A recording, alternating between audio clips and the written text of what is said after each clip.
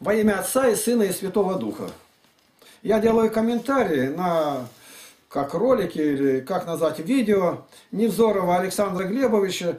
Вот у меня под 14 номером. О защите от христианских, о защите от христианских ценностей. Библия не учит добру.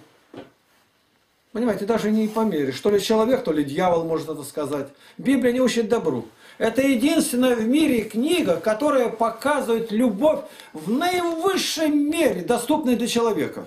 Ибо так возлюбил Бог мир, что отдал Сына Своего Единородного, дабы всякий верующий в Него не погиб, но имел жизнь вечную. Бог доказывает нам любовь свою в том, что умер за нас Сын Божий, когда мы были еще грешниками. Ведь два ли кто согласится умирать и может заправить нам, Павел говорит. А мы были грешниками. И в Библии не сказано о любви. А какой вы любви понимаете? Что под словом тогда любовь? Ваша жизнь проявление любви? Только в биографии вашей то, что открыто, в Википедию вошло. Ну, я думаю, это далеко не все. И то там я нигде не вижу, чтобы э, любовь Божия где-то покинула вас. В каких-то вы были там конфликтах военных, и вы остались живые, вас стреляли. И вы остались живы. Это не любовь Божия. Да сантиметр в сторону и разорванной артерии вы бы умерли. Как это может быть таким неблагодарным? Библия говорит, будут неблагодарны, злы. Зачем вам эту характеристику на себя брать? Да еще и последователей искать. В первом послании Иоанна 3,16 читаем. «Любовь познали мы в том, что Он положил за нас душу свою, и мы должны полагать души свои за братьев». Мы должны. Вот рецепт. Вы не встречались с такими людьми, которые души свои полагают за ближних, отдают все, а остаются без еды, есть нечего. Взял последнее, отдал, совершенно последнее. Сам идет несколько десятков километров, чтобы отправить кого-то на эти деньги незнакомому человеку. Вы это даже не слышали, не знаете.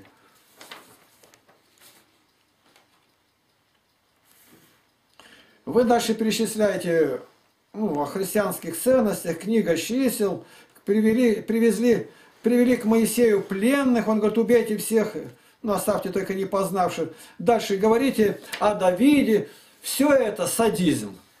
Гитлеру, говорится, отдыхать, что там написано. Да, но это повеление Божье. Но вы ничего не, об этом не видите. Эти народы изжили себя, они не должны, как вот мы изжили. Нас китаец придет, сметет в мусорную корзину. Только новый труд доставим, что нас будут хоронить, и после нас эти свалки вокруг городов и в городах еще несколько лет будет. Эти люди восстали против Бога, они не хотели знать воли Божьей. И Господь послал израильский народ. Я не знаю, знаете вы или нет, что такое слово благословение. Я хочу просто, ну, если вы знаете, для других это будет. Сегодня этим словом играет. А кто благословил? А начнешь спрашивать, это а то, о чем вы говорите. Люди играют в это. Они значения слов не знают. Благословение имеет два полюса в Ветхом Завете. Первое – Аврааму. Его надо очень хорошо заучить. Благословляющий тебя благословен будет. Проклинающий проклят. И когда меня спрашивают, о благословении я его спрашиваю. Скажите, а вы хотите быть благословенным? Ну да, а что это такое? Это послушные дети, все у тебя есть, жена тебя любит, на работе у тебя стройно, у тебя мир, в аварию не попадаешь, что все доброе, здоровья у тебя хватает. Это благословение. А проклятие? Ну, проклятие все наоборот. Воры, пожар, нападают на тебя, нашествие врага, там колорадский жук, картошку твою, ну все это проклятие идет, у тебя ничего нету. Так вот, хочешь получить проклятие, хорошо запомните, никогда не проклинай евреев. Евреев не трожь. Это неприкасаемый Божий народ. Что бы ни говорили, я знаю, на меня многие патриоты злобятся на это. Злыми словами меня поносят. Я не еврей, повторяю. Я не еврей, но я верующий. Еврея можешь только благословлять. Благослови его, Господи, чтобы он познал волю Божию, чтобы он пришел к тебе. И вы это считали, то, что Бог через евреев делал это возмездие для народов. Это меч Божий. И Давида Бог не отверг, и Моисея не отверг за что, что они делали. Ему повеления не было. И вдруг, оказывается, это повеление было. Уничтожить. И они это выполняли.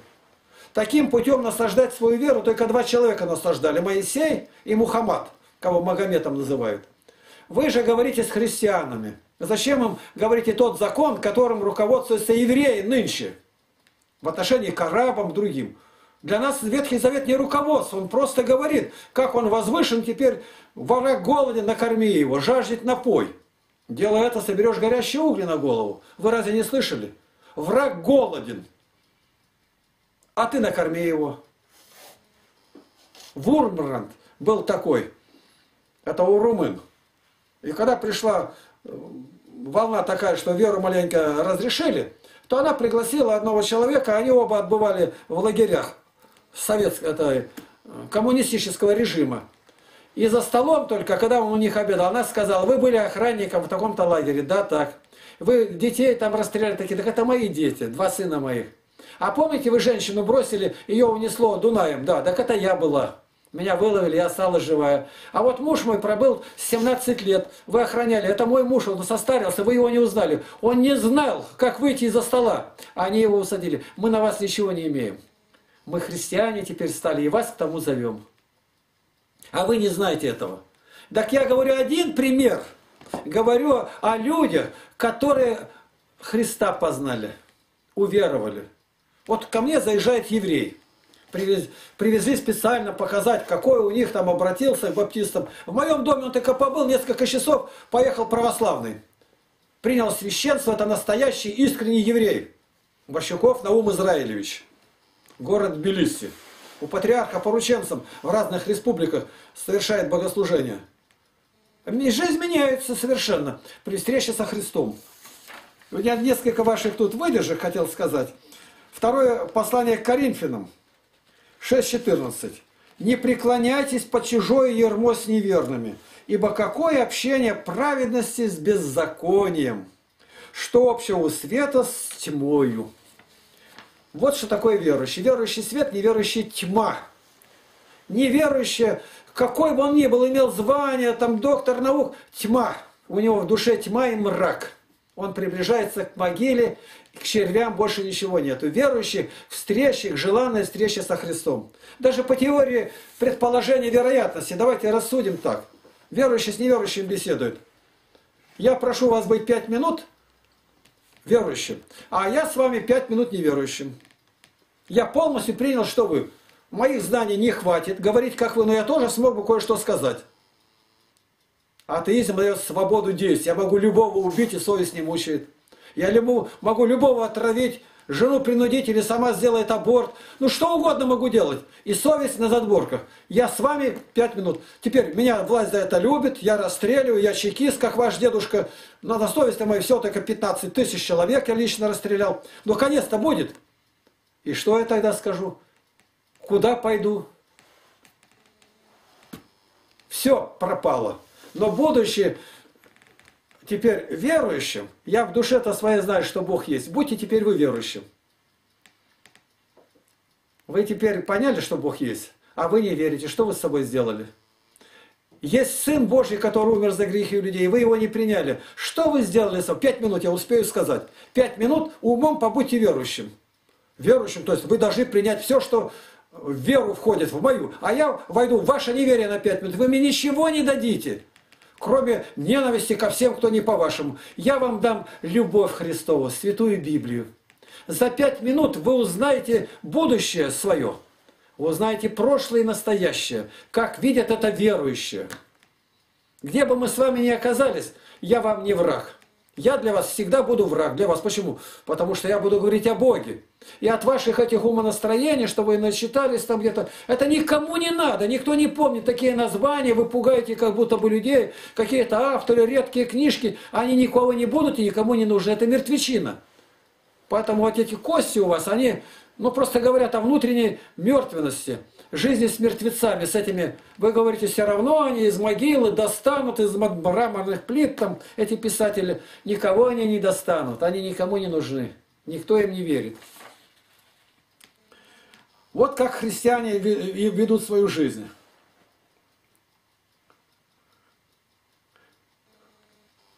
Христиане, вы говорите, всегда распространяли веру свою насилием. Вы говорите о том, что видели и слышали и читали. Теперь я вам говорю. 2 Коринфянам 11.24. От иудеев пять раз дано мне было по 40 ударов без одного. Там марийцев, как заставляли, крестили, абсолютно правильно говорите. Об этом пишет Лесков Николай Семенович. Много. Здесь вы правы. И нужно прислушаться к вашим словам. Я говорю к Невзорову Александру Глебовичу. Лесков говорит, Евангелие никогда в России не было проповедано так, как должно. И вы тут правы. Не было Евангелия, не было света, и спрашивать больше не с кого. Вот мы пришли. Такой катастрофы, как русская православная церковь, РПЦ, никогда в мире не было. Никогда. Вот они там за какую-то чечевичную похлебку, вы говорите о том, что они имели, продавали. Все это правильно. Правильно. Они с малодушием, но вы их принуждали к этому. И не все выдержали этого давления. Это ваш дедушка этим занимался. И он еще ответит, и вы ответите за тех, которых принуждали. Давать показания друг на друга ради там семги, все перечисляете. Как это вы можете дальше не продолжать рассуждать? Вы говорите о том, что и марийцам заключали без еды, что приняли. Вот. Они принимали крещение. Вы еще не, не выработали другой формулы, которая у меня есть. Я ее еще раз повторю вы не имеете такого близкого общения с патриархией, с Русской Православной Церковью, как я. Почему? Я благовестник. Мы идем по селам, по городам. Я повторяю это уже. Нигде нет сопротивления, везде принимают с радостью, но где нет священника? Священники самые ярые враги. Враги благовестия. И когда меня спрашивают, такое патриархия, РПЦ, я отвечаю одним словом, ложь. Везде все на лжи построено. Двумя словами, всегдашняя ложь. А тремя тотальная, всегдашняя ложь. Но я считаю ее благодатной. Вот это антиномия. А почему? Да потому что человеческая слабость и Божья премудрость и благоволение. Я вам сказал о благословении, которое надо искать. Второй конец. Это у Малахи написано. Благословение. Не открою ли я вам небо? Платите десятину священству и получите благословение. Это надо испытать, сладость послушания в церкви. Людям вот непонятно, когда я рассказываю, ну вы же сами сказали, что там так, но я не скрываю ничего. Ну а если атеисты, вы им помогаете? Да, помогаю, притом всячески помогаю, чтобы они стали верующими. Я приношу им литературу, Евангелие, рассказы и физически помогаю. Чем только могу. У меня вообще ничего нету. Нету ничего, кроме заплат. Но я счастлив. И счастлив поистине, не сиюминутной радостью. Это во Христе. И поэтому о защите от христианских ценностей вы назвали, а ни одной христианской ценности не назвали. Самое ценное в христианстве Христос. Вы даже как будто не слышали. А защищать от Него не надо, Он нас защищает. От Христа никто не отлучит. Ни высота, ни глубина, ни начало, ни... Никто нигде никак. Никакие это атеисты, никто. Потому что от Христа защищать не надо. Он простирает руки с креста и зовет к себе, придите ко мне все труждающиеся обремененные. Вот этот заголовок вас о защите от христианских ценностей говорит, что вы их не знаете, и поэтому, не зная христианские ценности, для нас ценность, все библиотеки мира никогда не дадут той ценности, какую мы имеем в Святой Библии. А если бы сказали, ну вы сказали, во времена Вольтера, это пишет Евгений Берсье. Испытание такое было. Три тысячи человек, времена Парижской коммуны. Разыграем такой примерно сюжет. Сегодня нас арестовывают, как графа Монте-Кристо, и сажают в одиночную камеру пожизненно. И уже не убежишь ты. Стену не расковыряешь. Какую книгу возьмете с собой? Я был в заключении. Этот вопрос задавал людям. Со мной в камере сидел преподаватель второй группы космонавтов Лозин Анатолий Максимович. Я знаю о Туполе, о Гагарине, о Титове из первых рук почти что, потому что он был у них преподавателем несколько лет. Этот вопрос, когда задают, он на первых порах для него неожиданный. А я бы взял, взял по математике, он математик. Я говорю, и что? Там Лобачевского. Ну, выучил наизусть самые современные формулы. Дальше что? Да, действительно так мне 35 лет, а впереди еще может 50 лет. Так вот тогда люди знали ценность книги и знания. Все сто процентов, три тысячи человек, времена Парижской коммуны, все ответили Библию. Я ею занимаюсь 50 лет. И за 50 лет я еще не встретил ни одного человека, ни у православных, ни у баптистов, ни у адвентистов, кто бы столько времени проводил за Библией, как я. Я не стыжусь этого сказать. За 50 лет. И я беру каждый раз Библию, открываю каждый день, как будто я первый раз ее открыл. Те же самые слова, я их знаю наизусть. Я на разных языках ее цитировать мог, выступать. Но смысл везде один – любовь Божия. За меня умер Христос. И Он желает, чтобы я был с Ним в вечности. Того глаз не видел, ухо не слышало. А это-то, что на земле люди придумывают, говорят, это все сатана говорит. Враг его. Он сошел на землю великой ярости, горе живущим на земле. Он избирает свои сосуды, которые будут атеизм, уроки преподавать. Это он учитель. У вас это учитель. У меня Христос. Вы не христианин, другого нет учитель. Дьявол или Христос? Как писал и, и, и, этот, Есенин. Пусть миф Христос, как мифом был Сократ. И не было Христа, как не было Сократа. Так что ж из этого? То надо плевать на все, что в человеке свято. Ты испытал, Демьян, всего арест, и то скулишь. Ах, крест мне выпал лютый. А чтоб, когда тебе Голговский выпал крест, и чаша с едкою цикутой. Хватило бы у тебя величия до конца, сейчас смертный, по его примеру тоже весь мир благословлять под тернием венца и о бессмертии учить на смертном ложе. Нет, ты, Демьян, Христа не оскорбил. Ты не задел его своим пером немало. Разбойник был, Иуда был. Тебя лишь только не хватало. Ты с густо крови у креста копнул ноздрёй, как толстый боров. Ты только хрюкнул на Христа, Ефим Лакевич Придворов. Это пишет человек, у которого маленькая вера была только. И оно относится ко всем. Не было Христа, так что плевать надо. Ну, у вас нет веры. Ну вот кастрирован ум сатаною. И не уважать даже как же традиции какие-то. Я не, не держусь за храмы, у нас нет ни куполов, мы молимся. Мы православные, но мы бедные. Отдельная крестовоздвиженская община. Потеряевке, Свято-Анфимовская, там храм мы смогли построить купола. Ну, я встречал мечети, и чтобы я стал смеяться над ними или над буддистами, ну, ну позвольте.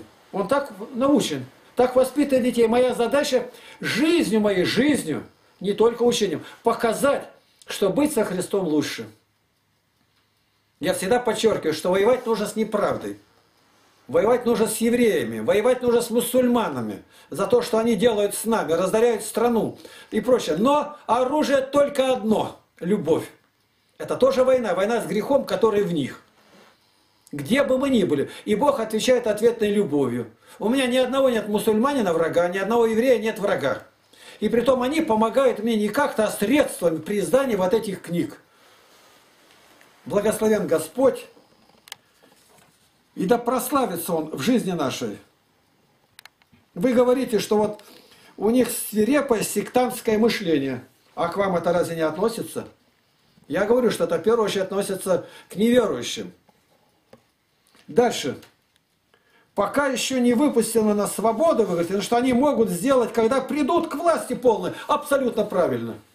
Если они так себя ведут сегодня, священники, попы, архиереи, когда они не у власти, они уже все подмяли под себя, и президент с ними там, и никто не верит в это, ни один, там и коммунисты уже стоят там, но когда к власти они придут, какую они диктатуру эти РПЦ устроить нам здесь?